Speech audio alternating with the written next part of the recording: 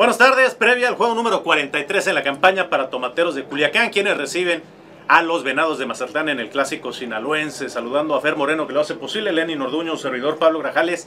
Lenin Tomateros, uno de tres equipos que tienen récord negativo en casa, otro es Mazatlán, uno más Charros de Jalisco, pero parece ser esta una serie adecuada para tener la primera victoria en serie en segunda mitad de campaña contra un equipo al que históricamente has dominado en esta plaza. Particularmente en este escenario, Pablo, te saludo, a Fer, a toda la gente que nos sigue. El tema es cuando venía Hermosillo, el rival más complicado en la historia del Estadio Tomateros, el mejor récord para un visitante lo tienen Naranjeros de Hermosillo. A la inversa, es Venados de Mazatlán el equipo al que mejor le has jugado. 23 ganados, 9 perdidos en la historia de este parque, 10 series, 9 se han ganado, solo una se ha perdido. No es sinónimo de que tengas que ganar esta, pero sí es una ventaja histórica, incluso en temporadas de no playoff, la del 2015 y la del año pasado son tres series entre ambas campañas y las tres las ha ganado Tomateros de Culiacán.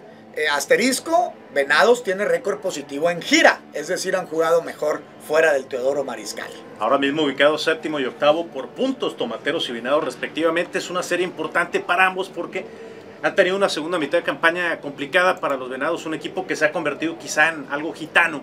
Pierden dos series por limpia, después ganan la última de la primera mitad para cerrar bien y terminar quinto lugar. Gana la primera serie por limpia en la segunda vuelta, pero tienen dos series perdidas de manera consecutiva. Lo decíamos con Tomateros, tres series perdidas en esta segunda mitad.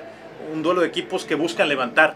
Y con el duelo monticular de hoy luce atractivo sobre todo para los guindas con Manny Barreda que ha lucido por encima del promedio élite que ha demostrado en este circuito. Las últimas aperturas así son. Dos son de siete innings, una es de seis dos tercios y otras de seis entradas, no necesariamente en ese orden, pero está en su mejor versión en materia de estamina.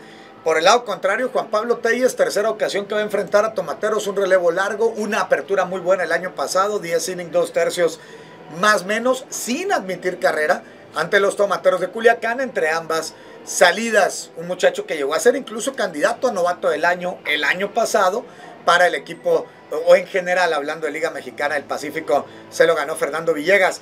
En el tema Manny Barreda, hace mucho tiempo no se encontraban los venados en calendario regular. Dos grandísimas exhibiciones en aquella final de la 19-20 ante el equipo mazatleco. Hoy, por cierto, a seis ponches de llegar a 400 en su carrera en la Liga Mexicana del Pacífico. En el line-up de los Venados, la ausencia ya el resto de la campaña no va a regresar Gustavo Campero, que les había funcionado muy bien. Qué difícil es encontrar un extranjero que te aporte, lo pierden por lesión. Acaban de obtenerlo a Carlos Figueroa de los Sultanes de Monterrey, aunque no está en el line-up. La parte medular la tienen con Ramiro Peña, el Cacao Valdés, Nico Vázquez y Alex Lidi.